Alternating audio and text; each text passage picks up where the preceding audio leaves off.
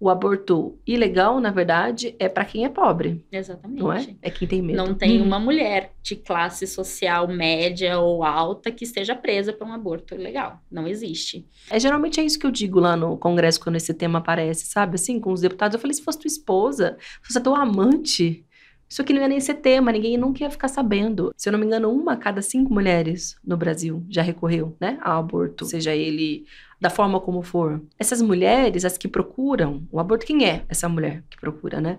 Não é uma mulher inventada, não é esse tabu, esse ódio que se cria. São mulheres reais, são mães, como você, são mulheres religiosas, são quaisquer mulheres que a gente conhece. O que a gente vê é são mulheres, mães, que já, que já são mães, ou que já sabem há muito tempo que a ma- maternidade não lhes cabe, e que elas procuram um método um- um seguro e legal para fazerem a interrupção daquela, daquela gestação. E aí, mesmo nos casos, essa insegurança de, de procurar o aborto, ela acontece também nos casos onde a lei permite.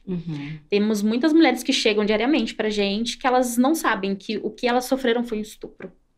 E aí o estupro pode ser de, de qualquer pessoa, do, do marido, companheiro, de quem seja, sabe? E aí a gente vê que, cara, é muita mulher. É muita mulher que chega, que tem direito e que recorre à ilegalidade, com medo. Elas, por exemplo, é, quando elas relatam a história, falam assim: tá, mas eu vou chegar no serviço de aborto legal e eu vou falar o quê?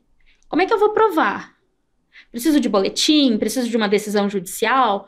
E aí, quando a gente fala, cara. com quem? Porque eu não contei pra minha mãe, não contei pra minha irmã, às vezes não contou nem pro marido, se tem exatamente. marido, né? Se tem um companheiro. dentro de uma situação de violência doméstica Violen- é muito grande. E aí o medo delas é esse, de quem é que vai acreditar na minha história. Uhum. E, e existe, paira, né, esse medo na, na, na sociedade, né, principalmente com as mulheres, né, de, de ter que provar. E não sabe que apenas o relato delas é o que importa ali naquela situação. Então, é a maior parte do nosso trabalho é essa, é, é essa esse esclarecimento, né, essas informações que a gente passa para essas mulheres.